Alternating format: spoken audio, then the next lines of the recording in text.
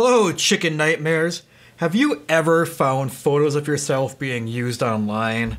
I don't mean like you go to some local event that has news coverage and the next day you see yourself in the background of a picture in the newspaper or anything like that.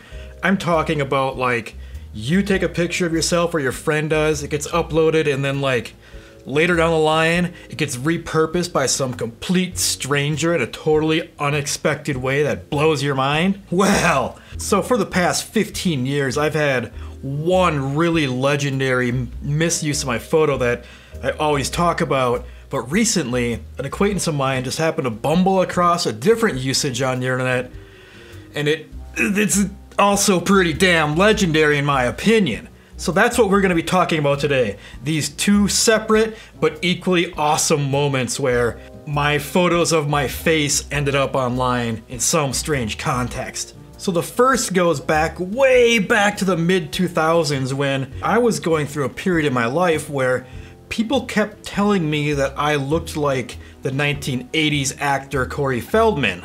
I got this a whole bunch back then for some reason, and the first time it really accumulated into something awesome was a story that I also referenced in my photographing in Ashland video about going into a bar in Ashland, Wisconsin, and having some guy come up to me and like, my friends think you're Corey Feldman, let's go screw with them. And I went over and pretended to be Corey Feldman for a while and had them all like, oh, starstruck. I was like, surprise, just kidding, gotcha.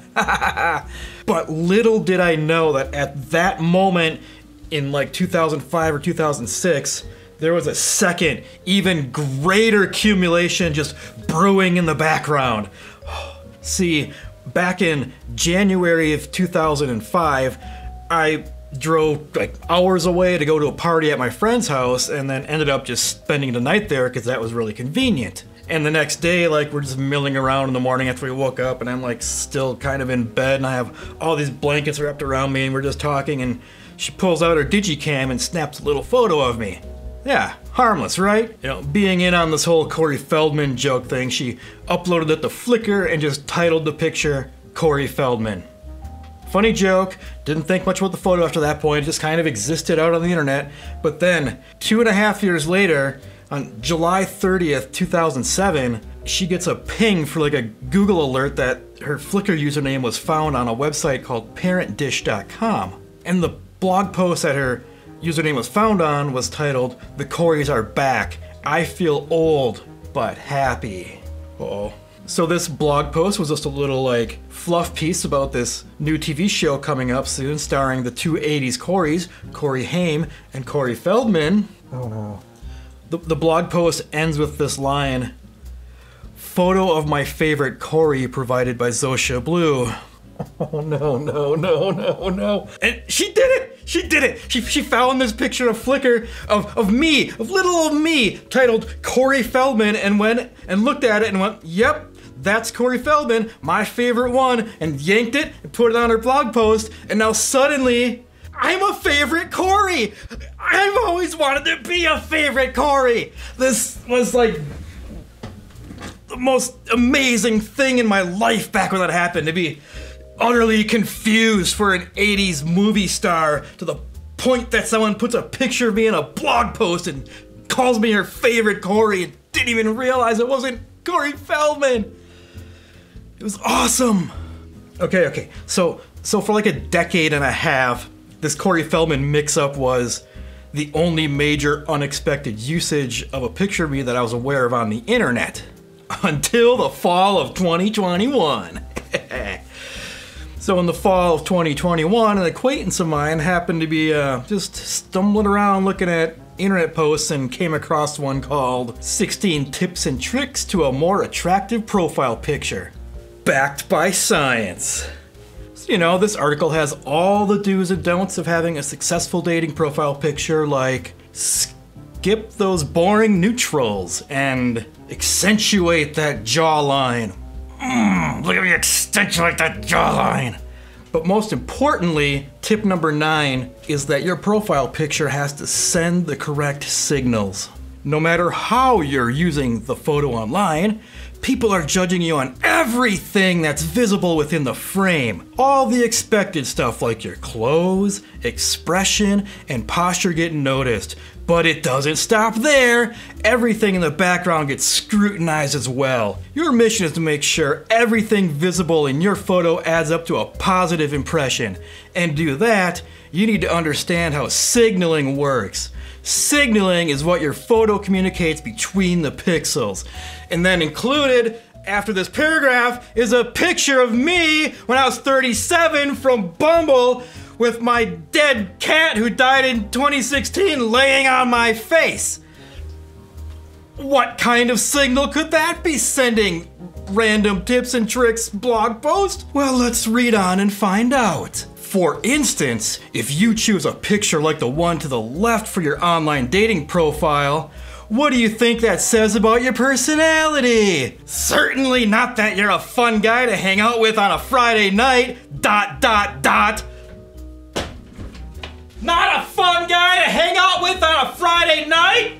The fuck? I, I'm fake Corey Feldman. How can I not be fun? I got a dead cat on my face. Well, he wasn't dead in the picture. This was years before the cat died. Just clear that up. Okay, okay, okay.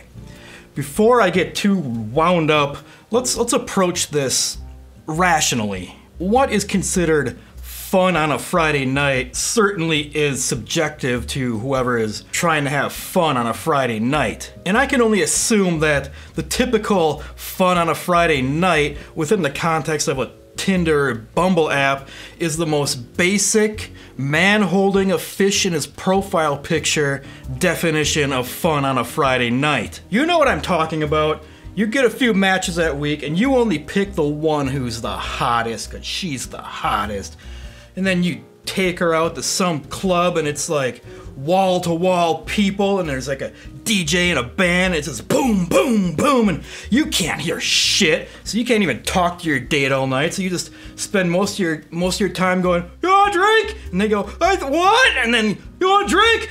What? And then, then you just spend like you just muscle your way up to the bar and buy like 20 drinks at a time because you know it's gonna be an hour till you can get back up to the bar and then like you just start feeding her drinks all night and then just parading her around in front of your friends so they can look at you and be like yeah you you got you got a hot one. Yeah, you're cool. You're cool. And then like maybe you'll see someone who's not in your friend circle you're trying to impress looking at this perfect 10-10 of a woman and she, he's like, "Wow, she looks pretty good." And you can sense that. So you're like, "Listen here, buddy." You start bumping chest with them and like trying to prove to this woman that you're the alpha man here. You'll beat the shit out of that guy just for looking at you when she's there with you. And then you just get keep wrestling to the bar and drinking more and more, and suddenly like, blah, puke in her purse, and then you wake up 15 to 20 hours later, and that's your fun on a Friday night date.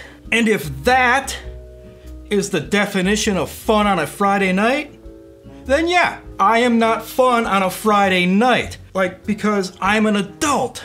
And if I'm gonna do anything like that date, I'm gonna do it on like a Tuesday because let me think about it. You, you go to the bar, there's no band or DJ probably, so like heaven forbid you can actually talk to the girl you brought on a date, and then there's like less people there, so you can just, you know, walk up to the bar and grab a drink whenever you want. You don't have to wait in line for 20 minutes. And then like if you still can't control how much you're drinking and you know you get a little bit shit faced and are just hungover the next day, it's on company time. Like why why squander a perfectly good Saturday where you don't have to work being all hungover when you can do that on company time and double down on being miserable all at once? Life hack! So you're probably right now sitting out there going like, well, if that's not a fun Friday night for you, Mr. Yelly Photo Guy, what would you do on a Friday night to have fun with a Tinder date? Huh? Well, do you want to see how to have fun on a Friday night Tinder date? Fine. Watch this.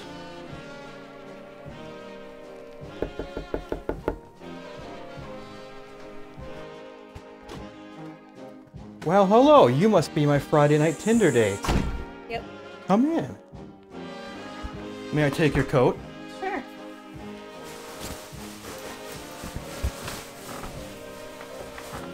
I'd like to show you something first. Come oh. this way. This is my beautiful clown painting I found at a thrift store. Stand here for a second. Oh, this will be nice.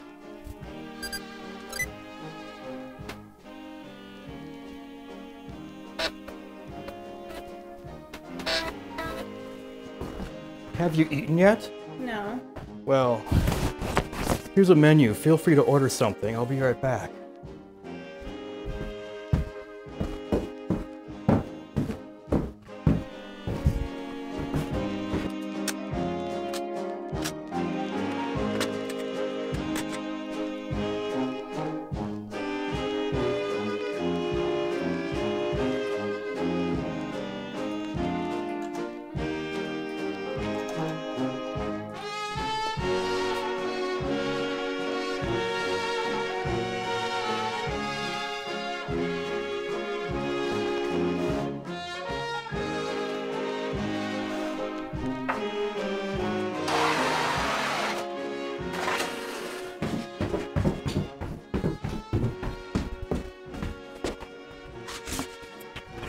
I made you a photo. You can give this to your mother. Here, take it. Do you like your photo? Yeah. You want to play a game? Sure. How about a nice game of probe? And that, my friends, is how I have fun on a Friday night.